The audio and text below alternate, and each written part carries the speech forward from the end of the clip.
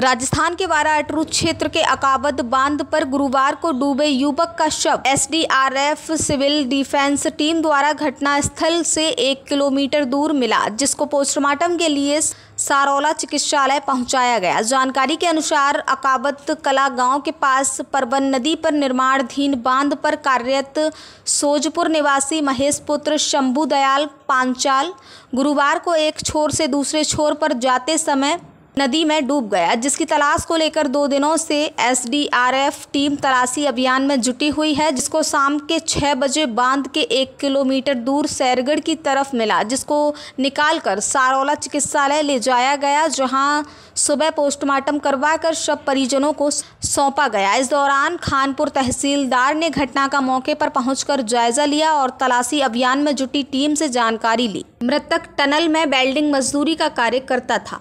Kanpur police उपाधीक्षक राजीव परिहार सारोला कला थाना अधिकारी दिनेश शर्मा झालावाड़ से पहुँची पुलिस प्रशासन के अधिकारियों की टीम मौके पर मौजूद रही। हाँ?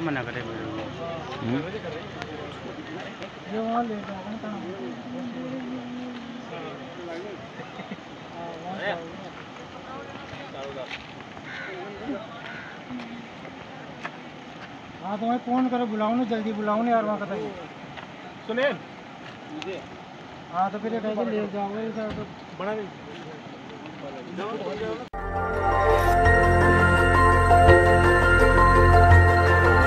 देखते रहिए डीबी भारती समाचार नज़र हर खबर पर।